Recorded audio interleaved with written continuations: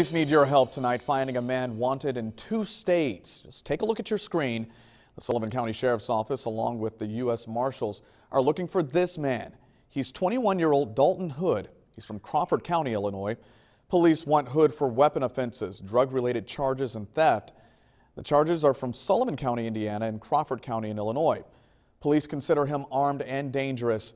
If you have any information, call or text U.S. Marshals. That number's right there on your screen. It's 812 230 0295.